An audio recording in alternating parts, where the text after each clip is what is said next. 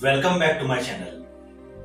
In our earlier videos, we had appreciated first two poems and today we are going to deal with same question that is question number 3b appreciation of the poem. So have this book with you and have the poem before you so that you can appreciate the poem with me very easily.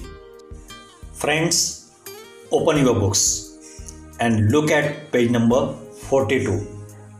Here comes the poem on page number 42, 2.1. You start dying slowly. And today we will appreciate this poem with the help of points given. Question number 3b appreciation of the poem and the given points are title, name of the poet, rhyme scheme of the poem, figures of speech, any figures of speech that you come across. And last point given is theme or central idea of the poem. With the help of these given points, we will go for appreciation of the poem. So, let's begin.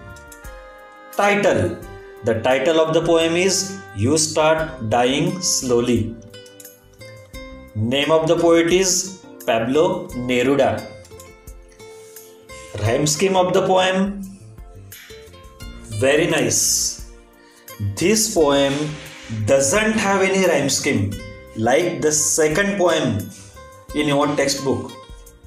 So, this poem also is an example of free verse, and that's why we write like this.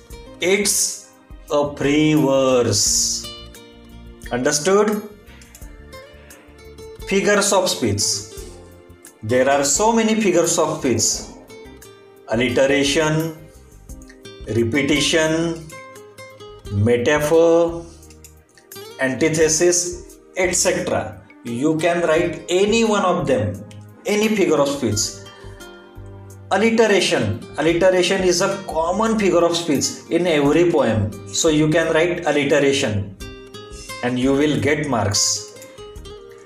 The last point is theme or central idea of the poem.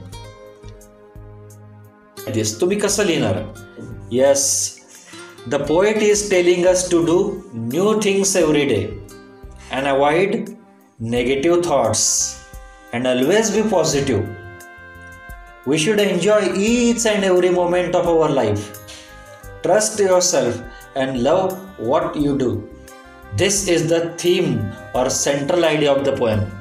So friends we can write like this. So keep preparing keep studying and keep scoring high. So friends enjoyed today's video? Yes you must have enjoyed it. Because now you have come to know that it's very simple to appreciate any poem.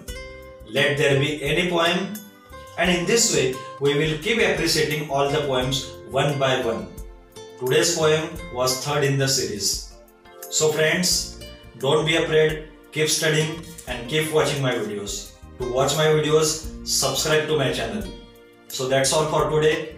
Best of luck.